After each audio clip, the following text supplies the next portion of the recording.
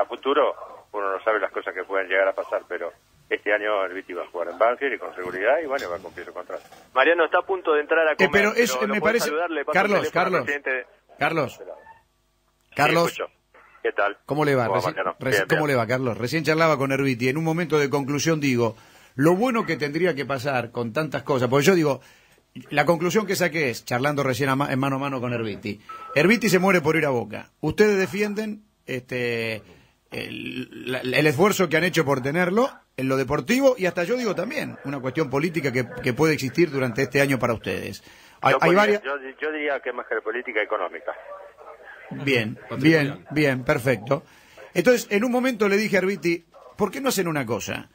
¿Por qué no dice, por ejemplo, usted, y creo que acá acaba de decirlo, señores, en este momento Herbiti es intransferible, entonces Boca tiene tiempo de buscar a otro, Herbiti sabe qué tiene que hacer de su vida, y es más o menos lo que está diciendo ahora?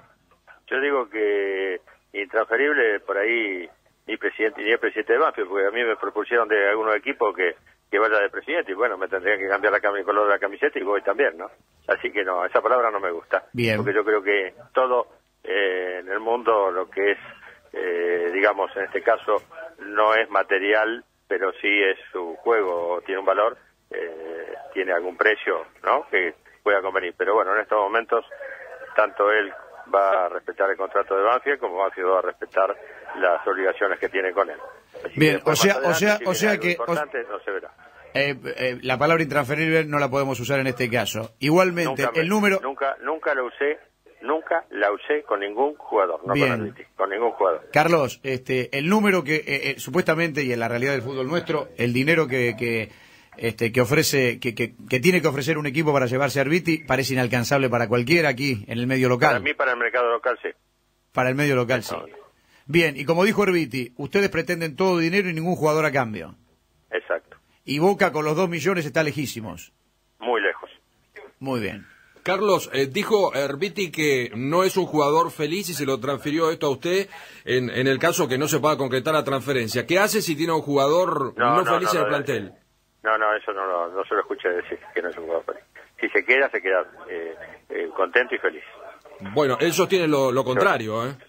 Bueno, él en estos momentos dijo que se eh, en la reunión que se encontraba bien. Es que a la Eh, larga no va a tener que entrar en una polémica. Es que a la larga va a ya no, tener- Yo sé que esto es una novela, que la que Sí. ustedes este, eh, venden minutos de publicidad y minutos de esto y minutos del otro, y bueno, pero no me hagan una novela con lo que no necesito. No, ¿Eh? no, perdón. Herbiti hace dos minutos acá en esta radio dijo que, que Bueno. sostuvo eso con usted. Usted dice lo contrario, no es una novela, ni es una que- venta que de lo- nada. No, no, escúcheme, ya empezó la novela con Falcioni. Le sacamos a Suar bastante rating. Ustedes le sacaron, porque la novela la empezó a ustedes, Banfield fue un invitado, nada más de esa novela. En este momento lo mismo. Así que le pediría que este no quiero entrar en una cosa. Lo Bien. atendí y, y, y, bueno, entonces pido que me dé el respeto de no entrar en una, eh, digamos, eh, digamos, en un en una Polémica. enfrentamiento con ni con el jugador ni con nadie. ¿eh? Bien, Portel, gracias. Bueno, gracias. Hasta luego. Abrazo. Yo tengo una información. Bueno, le agarró, que- le agarró